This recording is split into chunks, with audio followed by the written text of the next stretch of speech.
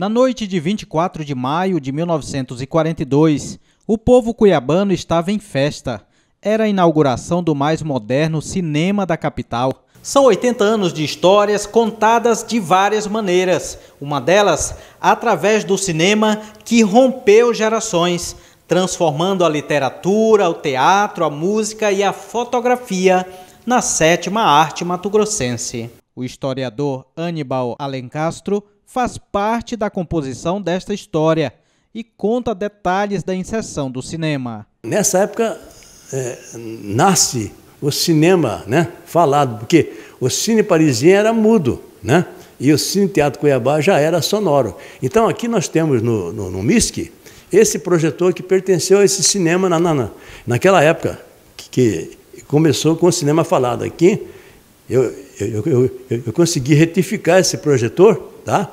para mostrar que assim que nasceu o Cine Teatro Cuiabá, o cinema falado, o cinema sonoro, em 1942. Durante anos foram acontecendo as mudanças e as inovações, facilitando o acesso de todas as pessoas ao cinema. Passava o cinema mudo, ela, ela, ela com a orquestra fazia a sonorização do filme. Então o pessoal adorava isso aí. Dos tempos remotos aos dias da tecnologia avançada, o Cine Teatro Cuiabá continua oferecendo cultura e educação aos cuiabanos.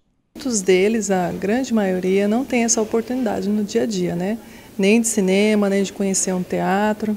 E hoje eles estão conhecendo um cinema dentro de um teatro. Então, para eles, é, mesmo aqueles que já foram em teatro, é uma novidade grande e vai ser assunto por um bom tempo, com certeza, para eles, porque estão muito felizes de ter essa oportunidade. O olhar atento das crianças mostra a felicidade em estarem ali.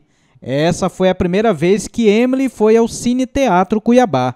Maravilha, porque é a primeira, minha primeira vez aqui, né? Nunca tinha visto onde. Agora eu gostei do filme, tô gostando, né? Do, do cine, né? Gostei, tô gostando. Para Flávio Ferreira, foram várias gerações que fizeram a composição da história do Cine Teatro. Bom, o Cine Teatro Cuiabá tem uma história belíssima, que ela passa por várias gerações. Né? São muitas almas, são muitos corações que criaram e que criam a história do Cine Teatro. Né? Cada tijolo que tem aqui, cada pedra, cada cortina, alguém fez isso. Né? Os operários que trabalharam na construção, eles deram sangue, eles deram suor, deram lágrima, deram sorriso. Então, isso tudo aqui é harmônico por conta desses afetos que são dedicados diariamente. Então, para nós que hoje vivemos nesse espaço, é um momento de comemoração, de muita alegria e muita reflexão também, porque também, por outro lado, esta é a única casa, uma das únicas casas de espetáculo que está abertas hoje em Cuiabá. Cuiabá precisa de mais espaços como esse para poder diversificar a cultura e, e trazer todo mundo para esses espaços.